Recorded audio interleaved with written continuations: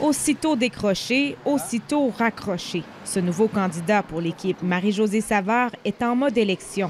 Il installe ses toutes premières pancartes électorales. Pour moi, là, la campagne, elle démarre aujourd'hui. Moi, je carbure aux campagnes électorales, j'adore. Sur le terrain, d'aller à la rencontre des gens, j'ai très hâte. Après 36 jours de campagne fédérale, les électeurs de la Ville de Québec devront inévitablement être attentifs à nouveau. Les candidats sont conscients, il faudra être en mesure de susciter l'intérêt.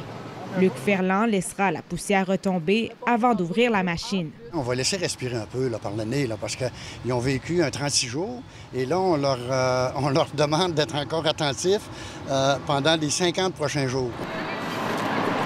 Chez Québec Fort et Fier, on adopte une autre stratégie. Il n'y a aucun temps à perdre pour ce tout nouveau parti. Les vainqueurs sont déclarés, on sait qui a gagné. Euh, je pense qu'on peut réaffirmer là, que nous, à partir d'aujourd'hui, on se remet en mode euh, action sur le terrain. Son chef et son équipe suscitent déjà la curiosité, dit-elle.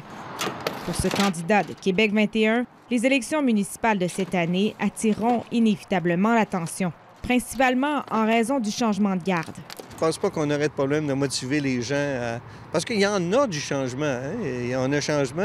On change de maire qui ne se représentera pas.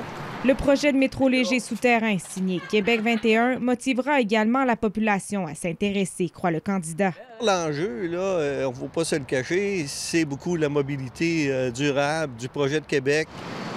Chez Démocratie Québec, la candidate dans Saint-Louis-Sillery rappelle que les enjeux municipaux touchent les citoyens directement dans leur milieu de vie. Un incitatif, selon elle. Je pense que euh, les gens sont beaucoup plus intéressés par la scène municipale parce que ça les touche dans leur quotidien.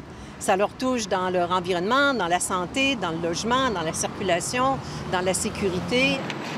Bien que les candidats troquent une pancarte pour une autre, la campagne municipale aura une issue bien différente qu'au fédéral. Le statu quo est à oublier.